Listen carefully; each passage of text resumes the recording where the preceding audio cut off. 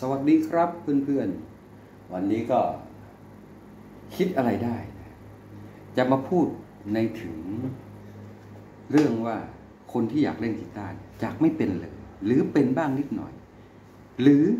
เล่นพอเป็นแล้วนะครับ ถามว่าในในหนึ่งปีของการเรียนรู้เนี่ยฮะวิธีการเล่นเทคนิคทฤษฎีดนตรีอะไร ที่ควรจะ รับรู้แล้วก็เป็นพื้นฐานเนี่ยนะครับ เราจะได้อะไรกับมันบ้างในหนึ่งปี ผมให้เวลาคิด แค่หนึ่งปีนะไอ้สิบปียี่สิบปีห้าปีสิบปียี่สิบปีต่อจากนั้นเนี่ยเป็นเรื่องของคุณแล้วล่ะที่จะไปฝึกซ้อมส่วนตัวนะครับ ความเก่งและความรู้บนพื้นฐานทฤษฎีดนตรีเนี่ยผมว่าในหนึ่งปีน่าจะพอเพียง ถ้าเราจะไปคิดกันแบบเออหลักสูตรดนตรีเรียนสี่ปีห้าปี อันนั้นมันรวมจนถึงการเอา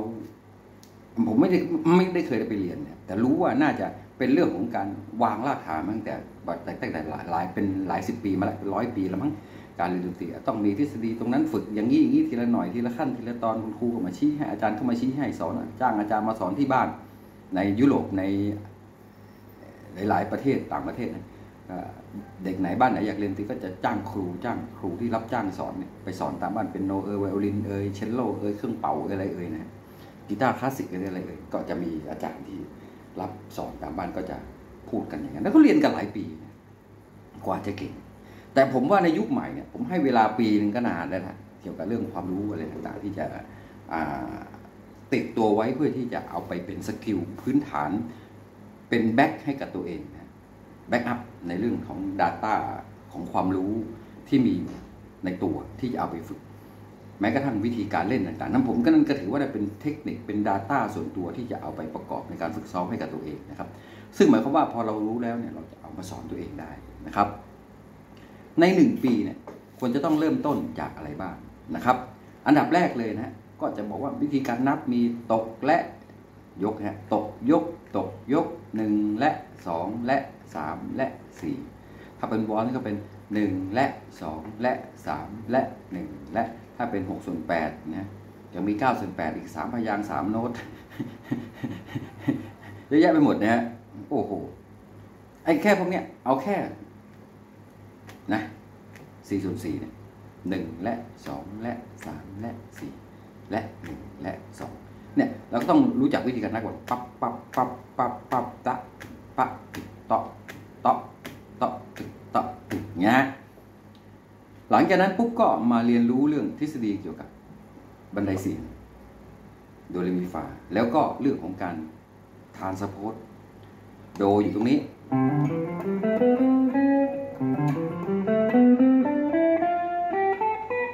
โดมาเป็นตรงนี้นะต้องได้ดูเรมีฟาซอนลาทีโดเรมีฟาซอนลาทีโดต้องได้ โดเป็นตรงนี้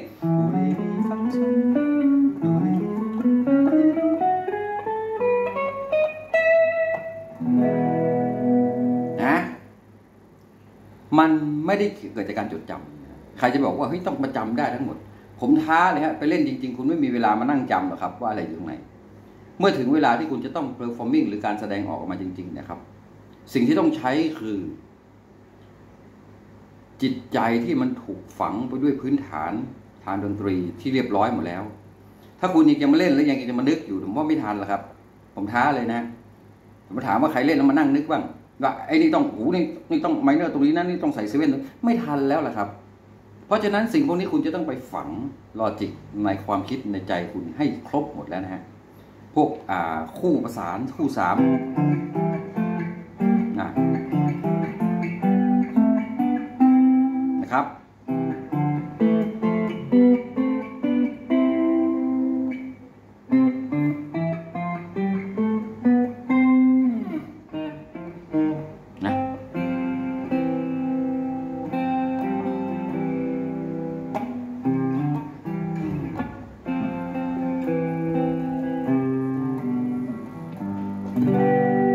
อะไรพวกพื้นฐานที่มันเป็นเกี่ยวกับทฤษฎีดนตรีไปนั่งหาอะไรอ่านแล้วก็ทำความเข้าใจกับมันนะครับ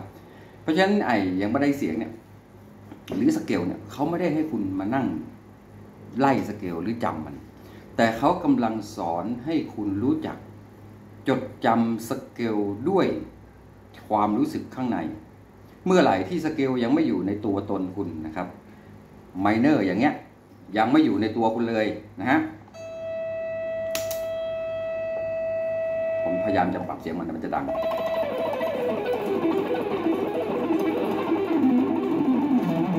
ผมหลับตานะที่หลับผมหลับตา ไม่อยากจะเอากล้องแพนให้ดูนะหลับตา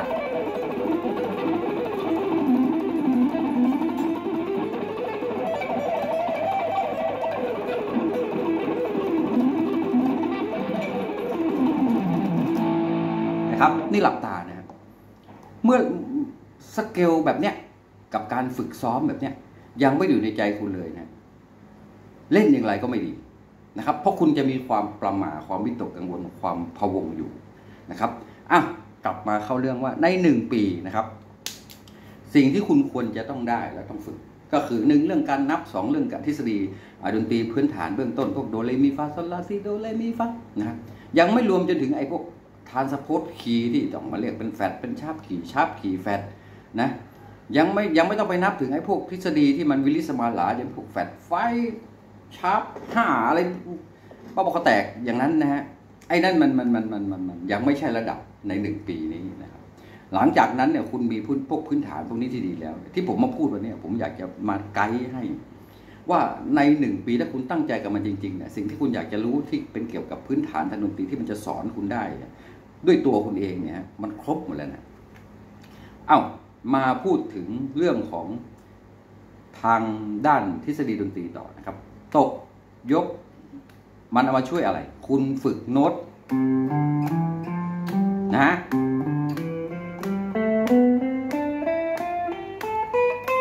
นะครับ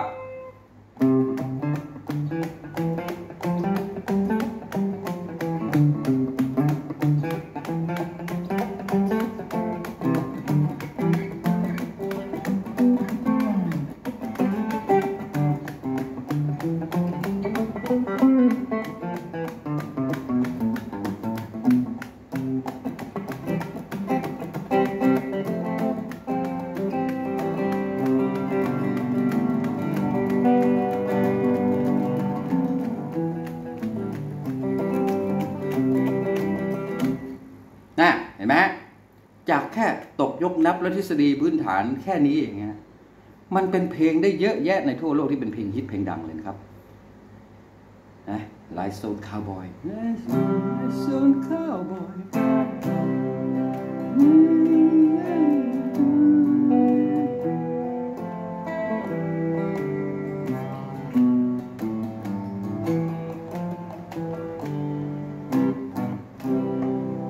เห็นไหมด้วยพื้นฐานความคิดแบบนี้ง่ายๆเนี่ย มันเป็นเพลงได้เยอะแยะเลย จากทฤษฎีแค่นี้เองนะถ้าพูดแค่นี้นะฮะ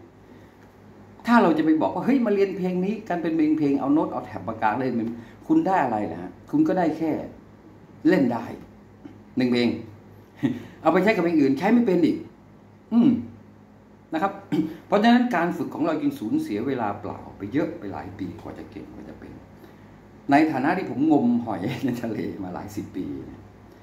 ผมจึงสรุปเรื่องพวกนี้มาให้ฟังกันเลยง่าย ๆ ในหนึ่งปีเนี่ย คุณเก่งกีตาร์ขึ้นแน่นอน ถ้าคุณทำตามสเต็ปเหล่านี้นะครับ จริง ๆ ผมเคยเขียนเป็นเล่มไว้เลยแล้วก็โยนทิ้งไปแล้วทีแรกก็อยากจะไปให้พี่ชาย พี่ชายก็เสียชีวิตไปผมจะสักวันหนึ่งผมจะเขียนวิธีการฝึกซ้อมกีตาร์ในแบบฉบับของผม พี่ชายบอกเขียนมาเลยแล้วมาให้พี่ด้วยสักชุดหนึ่งนะพี่ชายก็รับราชการเป็นข้าราชการ ก็ลดความเสียชีวิตไป ผมก็ไปร้องไห้อยู่หน้าศพ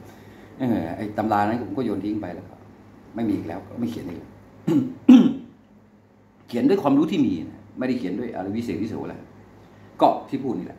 เอ้า เมื่อคุณได้จังหวะนับตกยกแล้วเอามาซ้อม มีแล้วแบ็คแล้ว สิ่งสำคัญต่อมาคือคุณต้องเอามาซ้อมกับส่วนตัว จังหวะนับต่างๆ จังหวะยก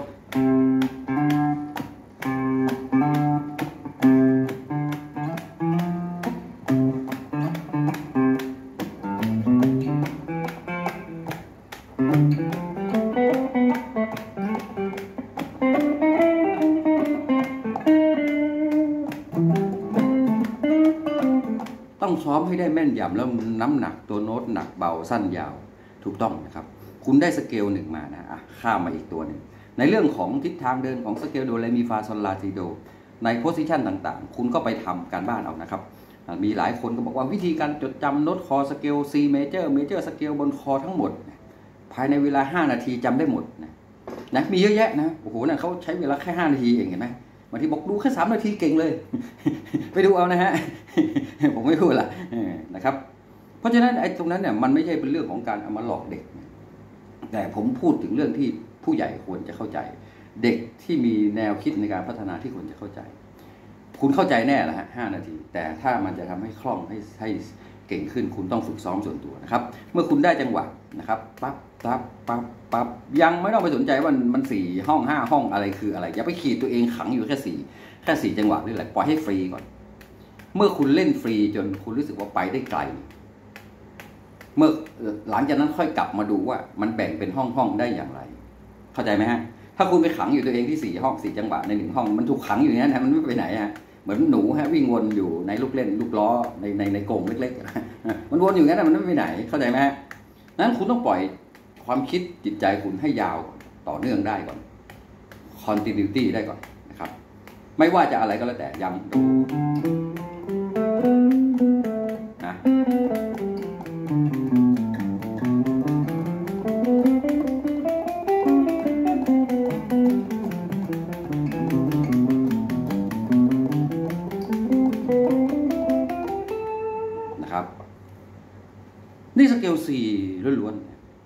หลังจากนั้นเนี่ยเมื่อคุณฝึกมากขึ้น สิ่งที่จะอยู่ในหูคุณคือบันไดที่ถูกต้อง โน้ตคุณไปตกตรงไหนคุณสามารถที่จะไล่เป็น major scale เป็นโดเรมีออกมาได้หมด โน้ตคุณมาตกนี้ ไม่รู้อะหลับตาเล่นนะผมหลับตานะฮะจริงมันคือเป็นกลายเป็นอ่า C sharp ไปซะงั้น ถ้าเราจะเรียก D flat มันก็แปลกๆนะเรียก C sharp ดีกว่านะทำไมไม่เรียก D flat เออผมก็ไม่รู้ผมไปถามอาจารย์ผู้เป็นศาสตร์เป็นศาสตร์ทางด้านนี้นะบางทีแบบเรียก D D D flat เงี้ยเอ๊ะทำไม E flat ทำไมเรียก E flat อะทำไมไม่เรียก D sharp เออนะถ้ามีคนเคยถามหรือมีคนเคยอธิบายแต่ผมก็ไม่เคยไปจำมัน เพราะว่ามันไม่ได้มีสร้างสรรค์อะไรให้เรารู้สึกสกิลพัฒนาขึ้นนะเป็นผู้รู้มากไปบางทีก็อีโก้มากไปนะครับ เอ้าทีนี้ เมื่อเข้าใจจังหวะการนับตกยกนะทีนี้มันยังมีจังหวะการนับแบบปัดอยู่นะคุณก็ไปทำความเข้าใจเองตือเตอตึงเตอตึงเตอตึงเตอตึงเตอตึงตึงเตอตึงเตอตึงเตอตึงหนึ่งตานตานตานสองจังหวะสามพยางยังมีอีกนะอย่างพวกเพลงพวกฝั่งลาตินพวกของลาตินเนี่ยเอาง่ายๆ บ้านเราเนี่ยถามว่าลาตินคืออะไรเพลงลูกทุ่งไงฮะพวกชาชาชาบทแทงโก้บอลลูมนะ โคลาชาบีบีกินโบเลโรอะไรพวกนี้นะฮะก็เป็นจังหวะที่นักนิยมใช้สัดส่วนแบบนี้บางทีแตนแตนแตนแตนแตนแตนแตนแตนแตนอย่างของซันตน่าเนี่ยแตนแตนแตนแตนแตนแตนนะโน้ตมันจะมีแตนแตนแตนแตนแตนแตนแตนอะไรอย่างเงี้ยนะพวกเนี้ยต้องไปฝึกนับอีกนะครับ เออแต่ในส่วนของพวกเราที่อยากจะเอามาใช้กับกีตาร์หลัก ๆ แล้วไอ้พวกนั้นอาจจะไม่ค่อยเจอเท่าไหร่นะครับนะครับ จะพวกเจอในพวก funky เจอพวกในพวกฟิวชั่นพวกบลูส์หรือพวกแจ๊สเท่านั้นนะฮะแต่ถ้าในส่วนของพวกเราร็อกพวก popular music พวกอะไรพวกนี้นะเราจะเจอในลักษณะโน้ตที่มันเป็นค่อนข้างจะตรงๆนะครับจะมียกประจุดอะไรสักนิดหน่อยเท่านั้นเองหรือบางแนวนะอย่างพวก country พวกบลูส์พวก billy rockabilly พวก shuffle อะไรต่างๆก็จะมีโน้ตประจุดสามพยางค์ยกอะไรนิดหน่อยเท่านั้นเองเอาละเมื่อคุณเข้าใจในเรื่องตรงนี้แล้วขั้นต่อไปเนี่ย จากแค่สองอย่างสามอย่างเมื่อกี้นะฮะคือหนึ่งสเกลสองพื้นฐานนะครับ ตัวที่ถัดมาคือ ขั้นตอนฝึกซ้อมส่วนตัว อันนี้มันไม่ใช่เป็นเรื่องของความรู้แล้วเป็นเรื่องของการค้นหาแล้วฝึกซ้อมส่วนตัวให้ชำนาญในส่วนที่ตัวเองเป็น หลายครั้งเราไปดูบอกว่าคนนั้นสอนจับปิ๊กอย่างนี้คนนั้นสอนอย่างนี้คนนั้นสอนบอกควงอย่างนี้คนนั้นสอนอย่างนี้ เอามาทั้งหมดเลยแหละฮะไม่ต้องไปเอามาทีเดียวนะใครสอนแบบนี้อะสมมติว่าใครสอนแบบนี้นะ อะหมุนนะเขาบอกว่าอย่างนี้งี้ควงอย่างนี้งนี้นะครับ ลองทำมันซะหมดนะฮะอย่าไปปฏิเสธมันนะครับ ผมบอกว่าให้ให้นอนปิ๊กแล้วดีขวางเลย เอาไปด้วยนะอย่าไปปฏิเสธ เขาบอกว่าเฮ้ยไม่ใช่ คุณคุณจะต้องเอียงคลิกนิดนึงแล้วให้มันผ่านกวักกวักกวักกอย่างนี้ไป เอามาด้วยนะฮะ มันจะมีข้อเปรียบเทียบทำให้คุณรู้ว่าไอสิ่งที่ ได้รับรู้มานะ อันไหนใช่อันไหนไม่ใช่กับตัวคุณ นะ นี่อย่างต่อมานะ อย่างล่าสุดเอาคุณไปฝึกดีดสเกล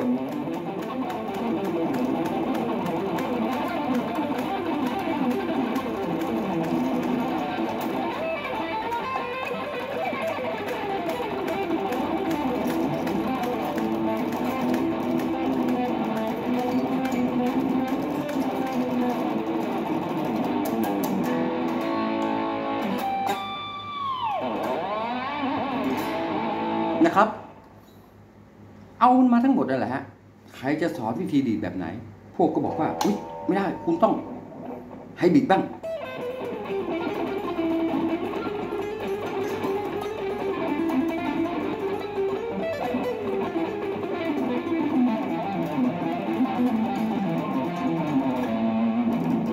เอามาทั้งหมดนะฮะ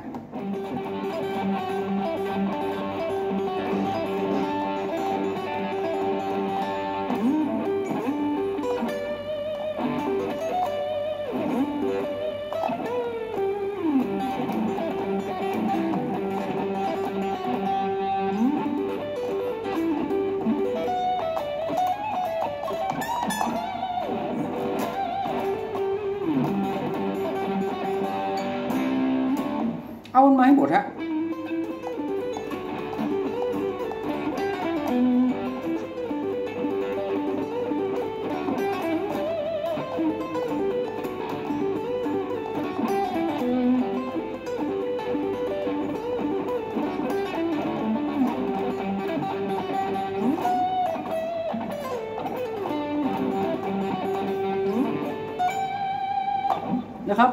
เทคนิคของมือกีตาร์อะไรต่างๆ ที่เขาบอกคุณในหนึ่งปีนี้ ไปหาไปฝึกไปเล่นมาให้หมด ด้วยพื้นฐานด้วยจังหวะช่วงเวลาพื้นฐาน ที่คุณจะสามารถเอามันมาได้ เสร็จแล้วปุ๊บเมื่อคุณได้แล้วทีนี้ เรื่องสำคัญตามมา คือ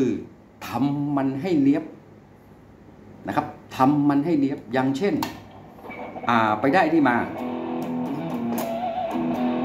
ทั้งโน้ต ตกโน้ตยกที่มีเบสิกมาแล้วในการคิดในการนับในการเล่น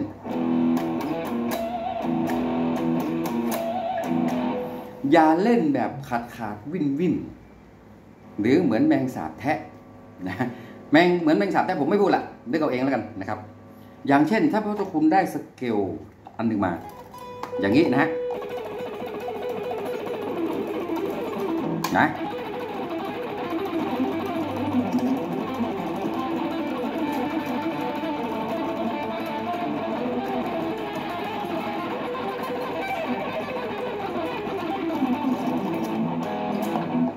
อย่าฝึกเล่นแบบลวกๆนะครับ จงเล่นแบบเนี้ยบเท่าที่จะเนี้ยบได้ เล่นซ้ำๆฝึกซ้ำๆด้วยความรู้ที่มีด้วยวิธีการนับเท้าที่มีด้วยโพส i ชันที่มีด้วยเทคนิคปิกที่มีด้วยอะไรก็แล้วแต่ที่คุณมี ใส่มันให้เต็มที่นะครับ อะ ต้องการไวใช่ไหม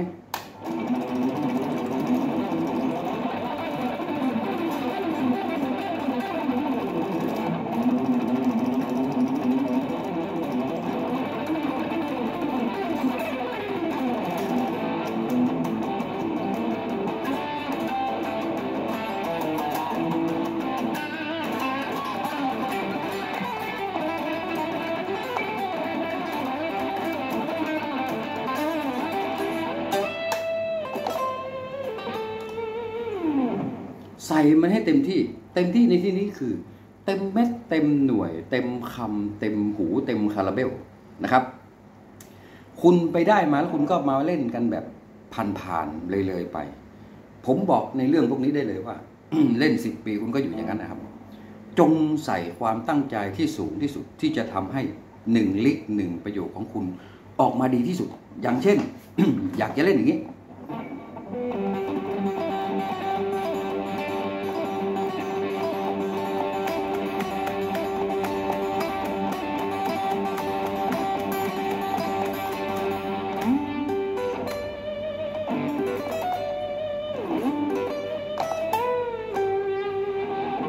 ค่นี้ฮะมันมีทั้งมีทั้ง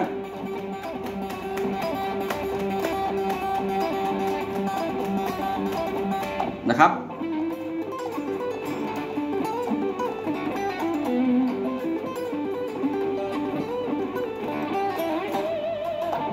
มีทั้งกันดันสายมีเทคนิคอะไรที่เยอะแยะไปหมดนะครับ เพราะฉะนั้นอย่างที่ผมพูดเมื่อกี้ อะไรแล้วก็แล้วแต่ที่คุณได้มันมา ไม่ว่าจะเป็น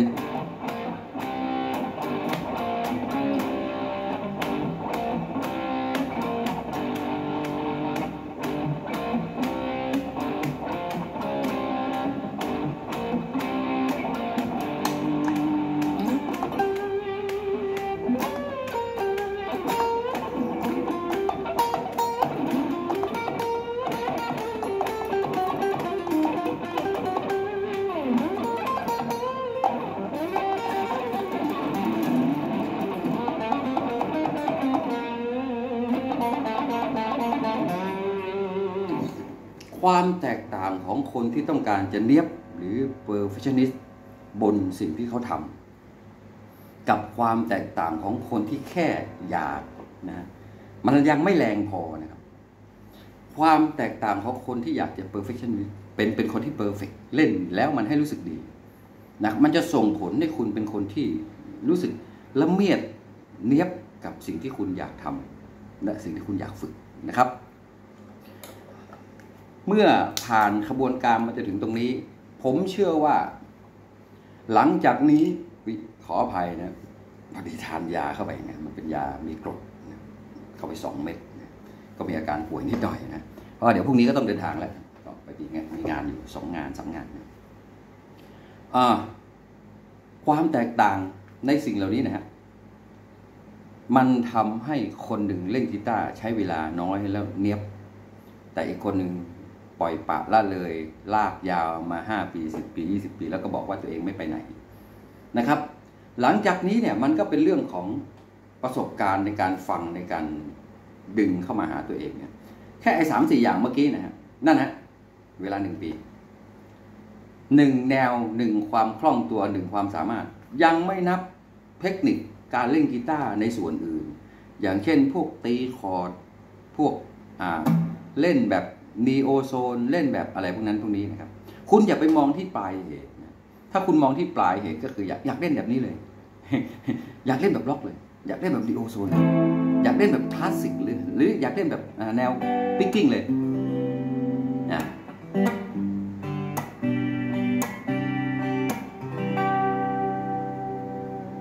หรืออยากเล่นแบบนั้นแบบนี้เลย ให้คุณกลับมามอง basic ตรงนี้ของกีตาร์ซะก่อน เชื่อเถอะคุณไปเรียนกีตาร์ไม่ว่าสถาบันไหน ไม่ว่าใครจะสอนคุณเขาก็จะบอกแบบผมนี่แหละ แล้วใช้เวลาเท่าไหร่กับมัน อันนั้นผมไม่บอกอะเขาไม่รู้ว่าใครจะใช้เวลาเท่าไหร่ หรือผู้สอนเขาจะมีแนวคิดในการที่จะถ่ายทอดหรือสอนให้เท่าไหร่ ถ้าคุณอยากจะเป็นเยอะก็ต้องใช้เวลาค้นหาศึกษาเยอะนะครับครั้นที่คุณจะไปดูแนวนั้น แนวนี้เจาะเอาอย่างนั้นอย่างนี้เลยนะครับคุณก็ไปดูที่ปลายเหตุอยู่ดีแหละครับ อยากเล่นบลูแบบซีวีเลยเลยโอ้โหนะครับ พอไปดูปุ๊บเอาผานมันทำยังไงวะโอ้อยากจะเล่นแบบโอ้อะไรนะ Jason Richardson อยากจะเล่นแบบ Tim Henson หรือโอ้โหมาถึง อะไปดูวิดีโอดูได้สองท่อน ไปเล่นเกมดีกว่านะอยากเล่นแบบ Yngwie โอ้โหพวกมาดูมันเริ่มยังไง มันทำยังไงนะครับ สิ่งที่ผมทำไปดูเมื่อกี้เป็นคำตอบเบื้องต้นเลย ถ้าคุณผ่าน step เหล่านั้น ฝึกสิ่งเหล่านี้ แล้วเก็บลิกทีละอย่างไม่ว่าจะเป็นอัพเพจิโอนะครับ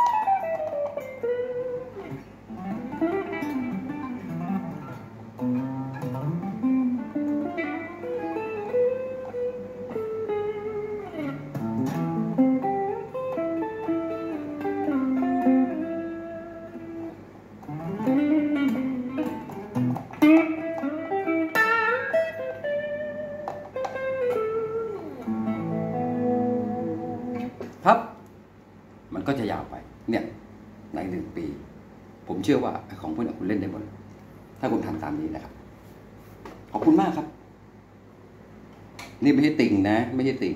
พอดีเขาให้วันเกิดมานะดันให้สีส้มมานะไม่ใช่ติ่งนะ ผมไม่ต่อ